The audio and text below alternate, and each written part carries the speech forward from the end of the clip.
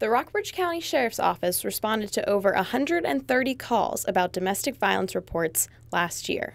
We come in and we're like knights in shining armor, and sometimes you get in there and, the, and the, the person who's been victimized or bullied for so long is finally able to vent and feel safe about it.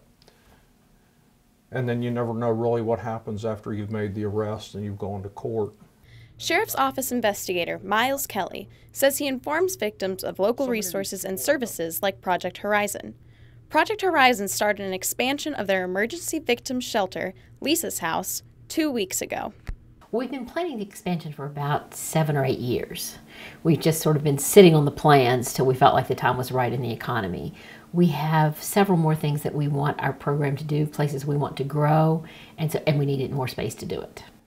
Project Horizon Executive Director Judy Castile says the expansion adds a child advocacy center, a training room, a play therapy room for children, a male apartment area, and more living space for residents in Lisa's house. It doesn't add capacity as far as bed capacity, but it does add a it adds an opportunity for our programs to grow. The renovations, which include adding another story to the building, will be completed in October. For the Rockbridge Report, I'm Cece Smith.